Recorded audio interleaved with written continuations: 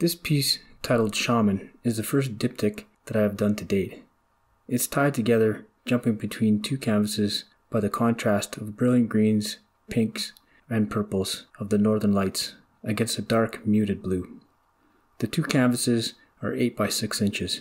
For four years, I worked in Norman Wells, Northwest Territories, and now work remotely since March 2020.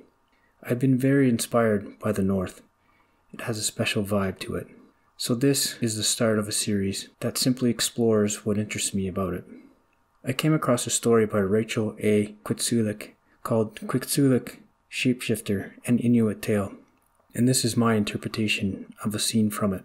To quote her, ever since humans have admired animal traits, we have been trying to acquire them.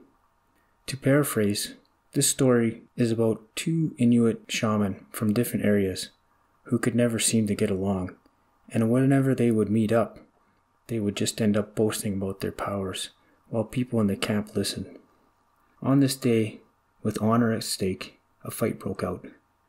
But this was no ordinary fight, as both shaman had the ability to take on their personal animal's form.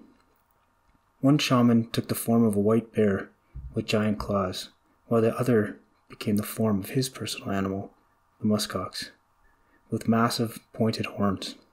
It was a ferocious battle. The onlookers were in awe as the bear danced around, as the muskox repeatedly thrust his horns at the bear with all his might.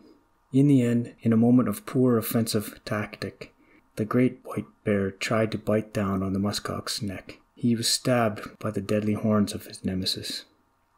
As he lay dying, the shaman turned back into human form. The other shaman was quite unnerved by the battle and never turned into his animal ally again. There are multiple messages to this story, one of them being, and to quote Rachel again, perhaps in this sense, the old tales of shapeshifting may serve as an allegory towards Inuit needs. In the sort of irony the land forces on all life, Inuit must ever change in order to remain what they are.